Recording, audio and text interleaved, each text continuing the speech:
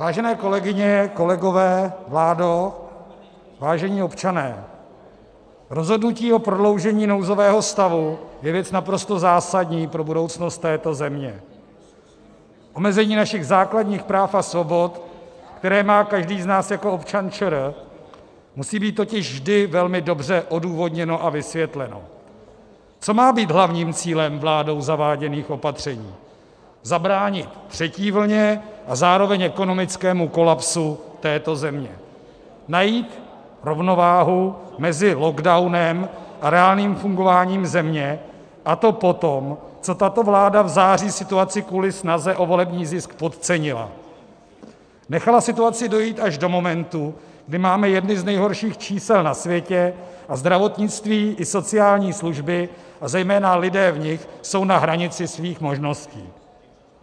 Na tomto místě bych chtěl poděkovat nejen lékařům a zdravotníkům za jejich práci, ale také všem těm, kteří do nemocnic a sociálních zařízení nastoupili při studiu nebo jako dobrovolníci z řad našich občanů.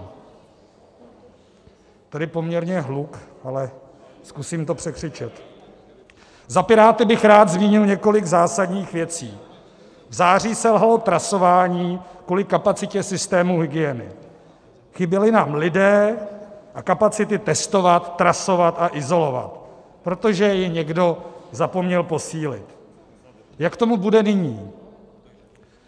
V důsledku toho tak za ohromných nejen finančních, ale tentokrát i lidských obětí uzavřel Andrej Babiš zemi, omezil provozovny, maloobchod, ponechal otevřené jen velké obchodní řetězce, zabránil dětem se prezenčně vzdělávat, zlikvidoval gastronomii i služby a vyhlásil zákaz vycházení. Také se změnila rétorika pana premiéra, rétorika z léta, kdy tvrdil, že se nic neděje a virus zásadně oslabuje. Nyní už nešlo lidem tajit pravdu, zemřelo již přes 6 tisíc osob, z toho valná většina za měsíce září, říjen a listopad. Obětovali jsme tedy z velké míry opět naši ekonomiku, ekonomiku firem, rodin a jednotlivců, abychom už podruhé oddálili kolaps českého zdravotnictví, kdy na vrcholu bylo v nemocnicích přes 8 tisíc osob s koronavirem. V přímém přenosu teď sledujeme neskutečné nasazení zdravotníků, kteří bojují o život takřka každého pacienta.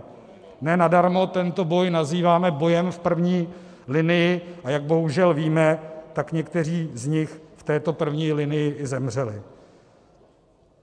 Obětoval je tedy Andrej Babiš, který podcenil v srpnu návrat koronaviru, jinak ten Andrej Babiš, který se zároveň pasoval do role šéfa Rady vlády pro zdravotní rizika.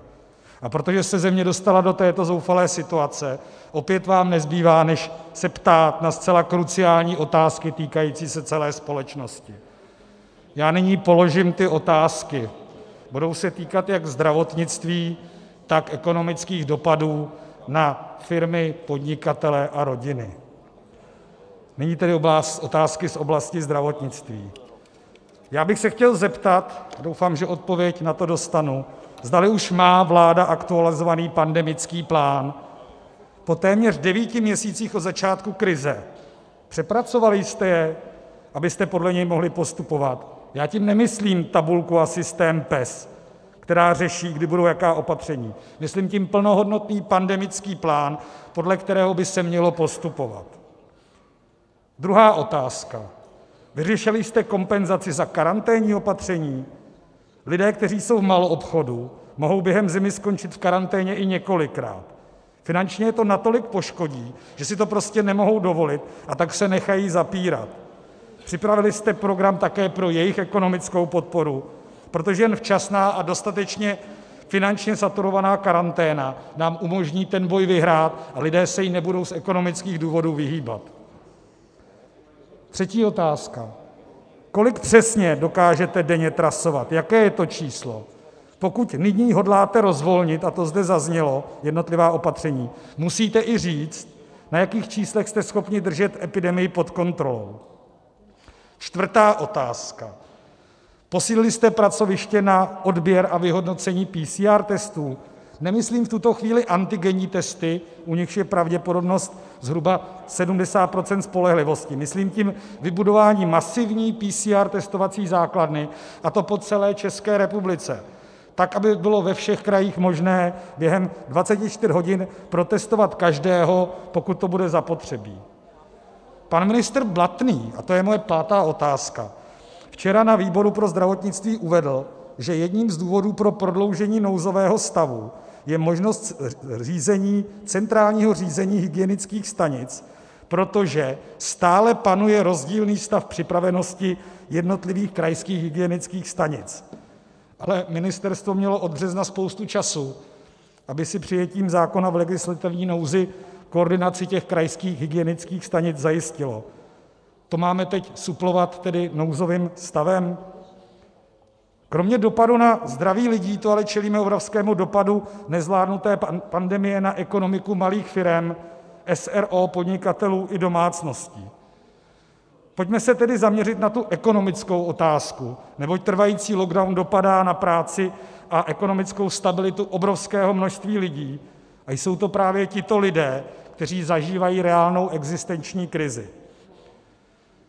Co jsme udělali, nebo co vláda udělala směrem k OSVČ, víme. Z jedné ruky jim tady vláda dává pomoc, nebo hovoří o tom, zhruba 15 tisíc měsíčně, a druhou rukou jim 5 tisíc bere. To je trochu zvláštní pomoc. Mě zarazilo vyjádření paní ministryně financí Schillerové, že na tom nehodlá nic měnit. Zásadním požadavkem Pirátů je odpuštění povinných odvodů zasaženým OSVČ, a pokud to stát nezvládá administrovat, tak všem OSVČ. Přece pokud v jednom systému vidím, že někdo s žádostí uspěl a požádal si, zároveň i vidím, že tento člověk by mohl být na základě této žádosti oproštěn od placení záloh. Kompenzační bonus, který byl na podzim znovu spuštěn v mírně odlišných a řekněme si to na rovinu přísnějších podmínkách, je z důvodu zachování povinných odvodů fakticky krácen o celou třetinu, takže ne 15, ale 10 tisíc.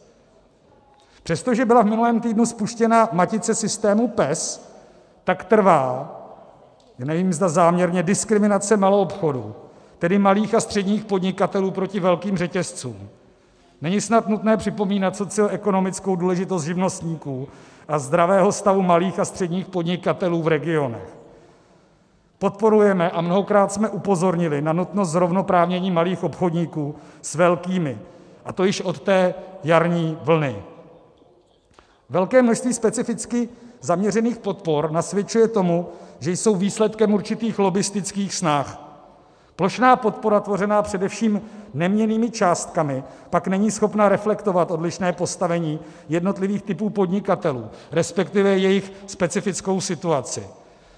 Uvedu příklad: bonus v kombinaci s COVID Nájemné zcela pomíjí fixní náklady podnikatelů, kteří splácí hypotéky. Příklady dobře nastavených plošných podpor můžeme hledat třeba v Nizozemí, kde je hrazena poměrná část fixních nákladů, dále příspěvek na živobytí, případně přímo část ušlého zisku. Taková podpora daleko lépe reaguje na individuální postavení jednotlivých podnikatelů a na jejich životní situace. Nelze nepřipomenout i věci, kterými se nyní Sněmovna zabývá. V souvislosti s nyní probíhající krizí je nutné upozornit na rizika, která jsou spojena se zamýšlenou změnou zdanění práce. Pokud skutečně dojde ke změnám zdanění práce přijetím poslaneckého návrhu pana v této roli poslance Babiše, který není promítnut do státního rozpočtu, a rozpočty obcí a krajů přijdou o značnou část svých příjmů, s vysokou pravděpodobností osekají investice, což dále ohrozí rychlé řešení ekonomické krize, protože to dopadne na podnikatele v regionu, kteří na řešeních pro města a kraje pracují. S Piráty s velkým znepokojením sledujeme horšící se ekonomickou situaci napříč obyvatelstvem. Zejména upozorňujeme na zhoršující se pozici samoživitelů a samoživitelek. V čase prohlubující se ekonomické krize budou zaměstnanci pracující na dohody nebo agenturní zaměstnanci opět jedni z nejvíce ohrožených. Já tedy znovu apeluji na předvídatelnost ekonomických opatření, na spravedlivou a dostatečnou podporu všem zasaženým subjektům a skupinám a na funkční řešení nutná pro zvládnutí koronavirové pandemie, to je testování, trasování a ochrana těch zranitelných skupin. Pokud tato vláda není schopna garantovat bezpečí rizikových skupin občanů praktickými kroky na straně jedné a spravedlnost v rozložení dopadů na občany na straně druhé, k čemu nám tedy je ten nouzový stav? My jsme požadovali jasné vyhodnocení jednotlivých opatření na vývoj šíření viru v ČR, nedostali jsme ho. Já jsem včera psal dopis panu premiérovi Andrejovi Babišovi, zkontroloval jsem několikrát svoji datovou schránku, jestli aspoň ty základní odpovědi dostanu, dostal jsem odpověď, že to není v kompetenci vlády, ať se dotážu na Ministerstvu zdravotnictví. My jsme požadovali řízení a hlavně boj s pandemií pomocí dat. To se také příliš neděje. Viz vyjádření pana ministra Havlíčka, kdy jeden den začnou platit nějaké podmínky a už se řeší to, že se opět v těch supermarketech tedy ty podmínky budou měnit. Jinak mě trošku překvapilo vyjádření, já teď trošku odbočím, že nejde vyřešit to, aby se v supermarketech prodávaly pouze komodity, na které ta opatření platí. Samozřejmě, že to lze, existuje taková věc, říká se tomu oddělovací páska, tu takhle natáhnete kolem těch regálů, kde se prodávají věci, které nejsou potraviny, nejsou drogerie, tak jak to mají v zahraničí, a prostě se ty věci neprodávají. Ta likvidace toho malého podnikání, kde vlastně všechno suplují obchodní řetězce, kde se kvůli tomu kumulují lidé, je podle mě buď to alibismus, nebo čistý záměr. Takže faktická obchodace maloobchodu z naše výrazné snahy již z první vlny teď dosahuje svého vrcholu evidentně a já možná tady zazní dneska něco, co tento můj poznatek vyvrátí, evidentně se s tím nic dělat nebude a vláda nehodlá zrovnoprávnit maloobchod s podnikatelským segmentem velkých řetězců. My jsme s Piráty za poslední měsíce vynaložili všechny síly na to, pomoci této zemi. Nabízeli jsme experty a kapacity z mnoha různých oborů, předkládali příklady ze zahraničí, bojovali za ohrožené skupiny obyvatel, za pomoc naší ekonomice, snažili jsme se o zapojení českých firem a jejich výrobků v boji s epidemií. Většinu toho však vláda prostě nevyslyšela. Nouzový stav není hračka ministrů pro zohledňování potřeb jejich byznysových kamarádů a neřízeného zavádění opatření naše svobody. Není to ta bomboniéra, ze které si vláda opět dle nějakých možná i vrtochů vybírá, aby dokázala, aniž by dokázala lidem zdůvodnit, proč a která opatření se jich v danou chvíli týkají. Žádali jsme tento týden pana premiéra o zodpovězení našich dotazů týkajících se ekonomických a zdravotních opatření.